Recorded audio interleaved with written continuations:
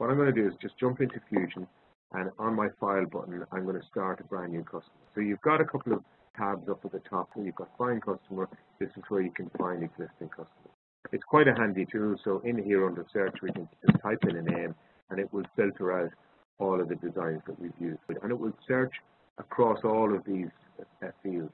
So if I am looking for, say, Castle Kitchens, I can type in Castle and it will filter that and it will find that Castle Kitchen. You can start a brand new design from here. Or if you're in here, you can click on a brand new design. So this is where you put in your customer's details. You'll see here on the screen that all of these are the same color. If you haven't uh, turned off the compulsory field, these will be black and it will mean you'll have to fill out one of them. We just put in John Wayne maybe, okay? So name of the customer, address, telephone number, as much information as you want. The most important part in here obviously is the customer's name. The second most important is the email address. So if you do not put in an email address here, you won't be able to create your panoramic 360. So if you go to do your panoramic and it doesn't show up, it will tell you customer's email, etc. Now you can go back in and edit this and put in the email address.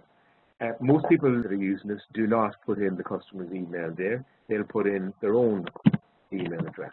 So that when the panoramic is created, it will send it back to the dealer so that they can look at it first. If they're happy with it at that stage, then they can send it, forward that on to the customer, and just type in the email and click OK. So at the top, I've filled in the information, and on the bottom left-hand side, you'll see that the new button pops up. So in other words, I've put in the information required to create a customer. Now I can click on to go straight into your design.